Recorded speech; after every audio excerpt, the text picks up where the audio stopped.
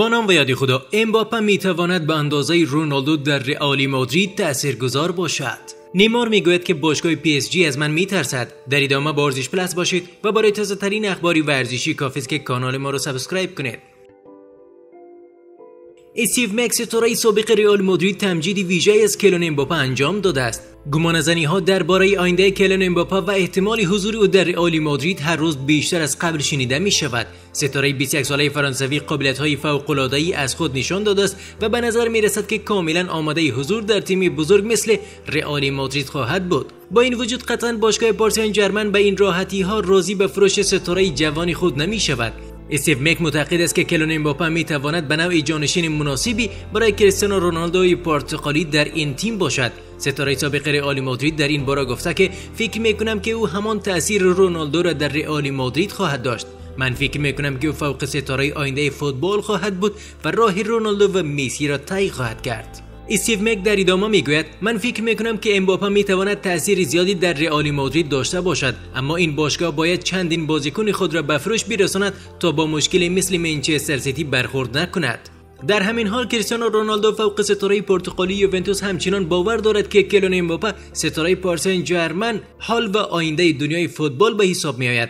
رونالدو در حاشیه یک برنامه تبلیغاتی با اسپانسرش به برخی از پرسش های علاقمندانش پاسخ داده و گفته که امباپه پس از درخشش با موناکو در فصل 2016 و 2017 خود را به عنوان یکی از بهترین بازیکنان دنیا معرفی کرد این بازیکن 21 ساله تا با حال یک قهرمانی در جام جهانی، سه قهرمانی در لیگ فرانسه و سه قهرمانی داخلی دیگر این کشور را به همراه پارس جرمن و موناکو به دست آورده است. در همین حال نیمار از وضعیت خود در باشگاه پارسن جرمن بسیار ناراحت است تا شایعات خروجش از این باشگاه را بیشتر کند. ستاره برزیلی پارسن جرمن یعنی نیمار فاش کرده که باشگاه با وجود مهاجمی که می‌خواهد دوباره به زمین بازگردد در هفته های اخیر از بازی با او خیلی ترسیده است. با این وجود نیمار برای دورتموند بازی کرد و با وجود اینکه در نیمه دوم گل هم به ثمر اما این مهاجم برزیلی نتوانست به تیمش کمک کند تا از شکست دو بر یک فرار کند. نیمار پس از پایان بازی در صحبت با رسانه ها اظهار داشته خیلی سخت است که چهار بازی پشت سر هم در ترکیب نباشید. این تصمیم از طرف من نبود بلکه از طرف باشگاه و پزشکان گرفته می‌شد. من می‌خواستم بازی کنم در این مورد خیلی صحبت کردیم. آمادگی داشتم اما باشگاه میترسید. این انتخاب من نبود که در بازی های گذشته حضور نداشته باشم. من می‌خواهم بازی کنم. من احساس خوبی داشتم. باشگاه ترسید و این من هستم که از آن رنج می‌برم.